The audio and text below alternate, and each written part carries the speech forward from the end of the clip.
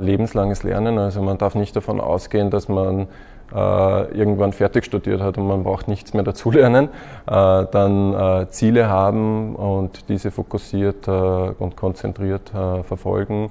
Und vor allem in einem großen Unternehmen ist es sehr wichtig, im Team zu arbeiten, dass man eine hohe Teamfähigkeit hat und äh, mit Kollegen respektvoll umgeht. Lukas Rom, IT Solution Architect, Bundesrechenzentrum. Ja, mir gefällt ganz gut, dass wenn in den Medien ein Thema kursiert, äh, wo man weiß, äh, man braucht dazu noch eine technische Umsetzung, dass das Bundesrechenzentrum nicht weit weg davon ist, diese nachher umzusetzen. Wir haben sicherlich Einschränkungen im gesetzlichen Bereich, dass es oft harte Deadlines gibt, bis wann etwas umgesetzt werden muss. Und das macht es auch, auch dann spannender oder zu einem Abenteuer.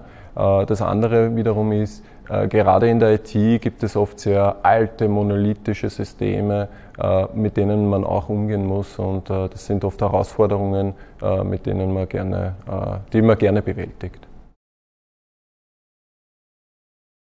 Das Bundesrechenzentrum betreut und baut E-Government-Lösungen für den Bund und damit für jeden Bürger in Österreich. Als IT-Solution Architect entwirft man und verantwortet man äh, die technische Lösung. Man hat äh, den größten Vernetzungsgrad in einem Projektteam. Man muss sprechen mit einem Projektleiter genauso wie mit einem Entwickler, Tester oder auch in den Kunden. Man muss mehrere Disziplinen beherrschen. Ähm, das heißt, man nimmt Anforderungen entgegen, äh, entwirft dann Datenmodelle, äh, strukturiert die, wählt Technologien aus, äh, spricht mit Entwicklern, macht Architekturvorgaben, überwacht diese. Man ist erster Ansprechpartner für einen Projektleiter und verantwortet wie in einem Baugewerbe ein eine konkrete Architektur.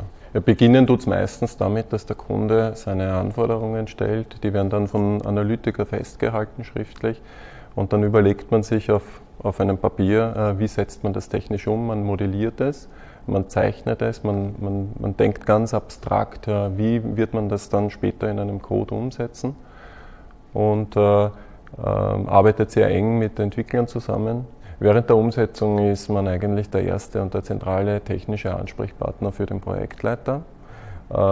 Man ist ja auch erste Anlaufstelle für die Entwickler bei technischen Problemen, wenn etwas geändert werden muss am Design und äh, man repräsentiert vor allem auch gegenüber den Kunden die technische Lösung und muss die dann noch dort kommunizieren. Als Beispiel zum Beispiel die Antrags äh, antragslose Familienbeihilfe, wo wir helfen im Bundesrechenzentrum Prozesse zu implementieren, die No-Stop-Shops sind. Äh, da geht es darum, dass der Bürger gar keinen Antrag stellen muss, um überhaupt an die Familienbeihilfe zu kommen wir vernetzen dabei Daten von, äh, von den Finanzministerien und den Innenministerien und erleichtern somit eigentlich jedem das Leben. Ich habe eine AHS-Matura und habe studiert am Technikum Wien äh, Wirtschaftsinformatik, Bachelor und Master. Habe bereits während dem Bachelorstudium Teilzeit gearbeitet als Programmierer zwei Jahre und habe dann eine interessante Stellenausschreibung gesehen äh, vom Bundesrechenzentrum, wo es um ein konkretes Projekt gegangen ist, was auf der grünen Wiese neu gebaut wird im Steuer- und Zollbereich. Das hat mich dann äh, sehr angesprochen und habe mich da noch äh, als Softwareingenieur beworben und bin dann schlussendlich IT-Solution-Architekt geworden. Also ich glaube nicht, dass man zwingend studieren muss. Man kann sich sicher heutzutage sehr viel selbst beibringen. Viel wichtiger sind die Erfahrungen, die man durchlebt.